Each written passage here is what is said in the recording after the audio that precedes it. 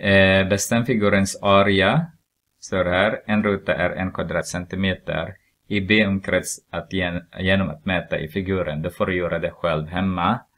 Men den här en halv. Den här en halv. Och den här. Om man gör en, en uh, rektangel så. Den här rektangeln. Det var två rutor. Men hälften av den, det måste vara ett. Så den här är ett. Och sen den här också är ett. Så två, tre, 4, 5, 6, 7. 7 kvadratcentimeter. Och B, ni måste mäta den här längden och den här längden. För att få fram eh, svaret i B.